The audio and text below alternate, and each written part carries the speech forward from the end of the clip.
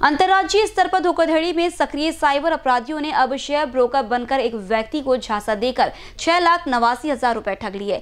प्रकरण उजागर होने पर शनिवार को महिला सहित चार लोगों के खिलाफ हुड़केश्वर थाने में मामला दर्ज किया गया।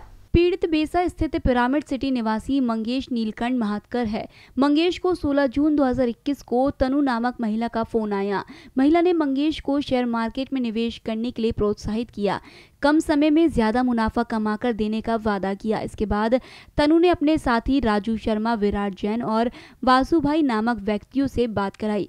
यह सिलसिला 17 जुलाई तक चलता रहा झांसे में आकर मंगेश ने एक माह के भीतर उक्त लोगों ने बताए खाते में छह लाख नवासी हज़ार सात सौ चालीस रुपए ऑनलाइन जमा किए। इसके बाद भी मंगेश से रुपए की मांग की जाती रही, जिससे मंगेश को ठगे जाने का एहसास हुआ और उसने अपने रुपए वापस मांगे। तो चारों ने अपने फ़ोन कर दिए। इसके बाद मामला थाने पहुँचा। जाँच पड़ताल के बाद शनिवार को तनु, विराट, राजू और वासु के खिलाफ प्रकरण दर्ज कर लिया गया। चारों आरोपी साइबर अपराधी हैं और अंतर्राज्यीय स्तर पर सक्रिय हैं। साइबर टीम की मदद से मामले की जाँच पड़ताल की जा रही है। बाइट। हुडकेश्वर पोलीस स्टेशनला काल एक गुन्हा दाखल झालेला आहे. फिर्यादी नामे मंगेश निळकंठराव मोहतकर.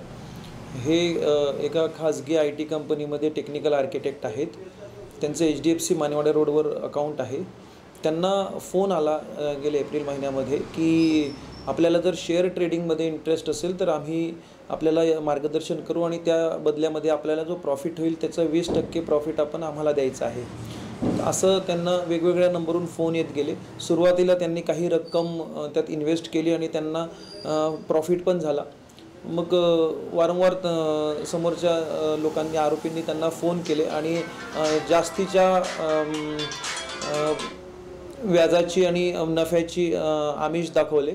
आणि त्याला त्यामुळे फिर्यादी यांनी आरोपींना वेगवेगळ्या अकाउंटवर एकूण जवळपास सहा लाख एकोणनव्वद हजार रुपये ट्रान्सफर केले.